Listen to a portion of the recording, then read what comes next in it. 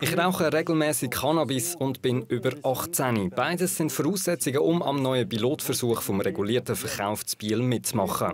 Ich will mich als Konsument anmelden, um genau zu wissen, was ich rauche, woher die Droge kommt, wie sie angebaut wird, wie stark sie ist, wie hoch der THC-Gehalt ist und um die Auswirkungen vom Konsum zu kontrollieren. Das ist meine Motivation und ich melde mich jetzt im Internet an. Me voici sur la page. Hier sehen wir jetzt die Seite, wo man sich für die Studie anmelden kann. Ein Klick und los geht's. Demande tout d'abord Zuerst muss man das Alter angeben, où est-ce que wo j'habite, das ich wohne, das wäre jetzt zu si je ob ich. Cannabis konsumiere. J'ai dû donner encore Jetzt muss ich noch ein paar persönliche Angaben machen, die wir hier jetzt nicht zeigen. Et voilà, Und die Anmeldung ist schon durch. Aber noch kurz etwas zum Pilotversuch zu Biel.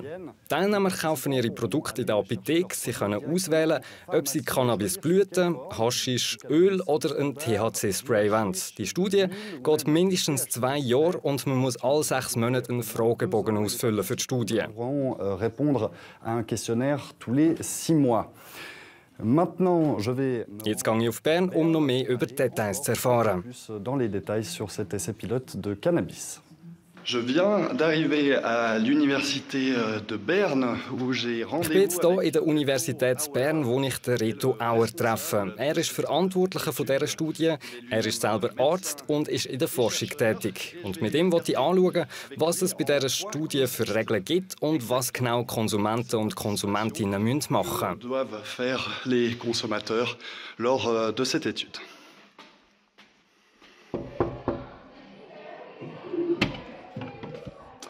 Bonjour.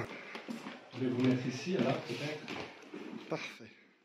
Voilà, je viens tout juste de Ich habe jetzt für die Studie vom regulierten Verkauf von Cannabis zu Biel angemeldet. Wie groß ist die Chance, dass ich da wirklich mitmachen kann?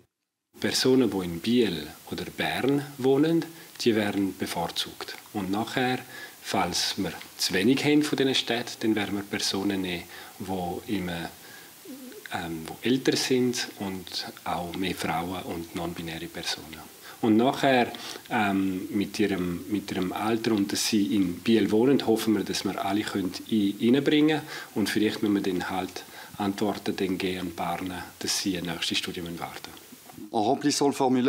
euh, Beim Ausfüllen vom Formular hat mich erstaunt, dass es viele oberflächliche Fragen hat. Meistens ist rein formell. Wieso ist die Anmeldung so simpel?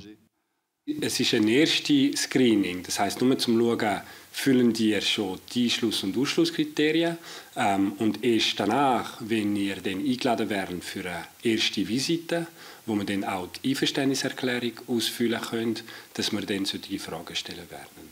En tant que chercheur, vous, Sie, die in der Forschung sind, was erwarten Sie von den Teilnehmenden? Was man darf sagen ist, dass es eher eine strikte Studie ist, oder? Es ist eine randomisierte, kontrollierte Studie. Das heißt, dass Personen dann unbedingt nach sechs Monaten wieder kommen und sie verpflichten sich eben Fragebogen auszufüllen, Antworten zu fragen und so. Und es ist schon rigorös. Und das Letzte, und das ist vom, vom Gesetz eigentlich befohlen, dass man auch äh, im Urin dann bestimmt, ob die Person tatsächlich vor frühem Cannabis geraucht hat. Die. Teilnehmer müssen Fragebogen ausfüllen. Was erwartet ihr davon, für Informationen zu bekommen und was wären das für Fragen? Die zentrale Fragestellung, die vielleicht auch beschränkt ist, aber wo ergänzt ist durch ganz viele andere Fragebogen.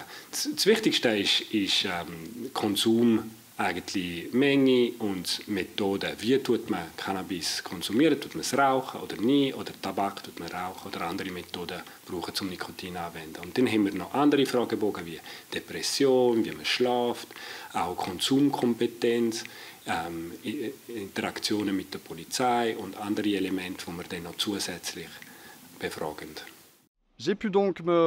Ich habe mich jetzt genau über den Cannabis-Pilotversuch informieren und was von den Teilnehmern erwartet wird. Jetzt muss ich noch ein paar Wochen abwarten.